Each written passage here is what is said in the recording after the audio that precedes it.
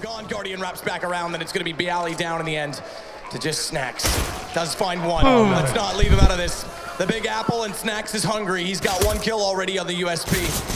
Low HP as well on Guardian and flamie. He's trying to bait them out, trying to get them into one-on-ones as he dances back and forth between the box. What a shot on s1mple!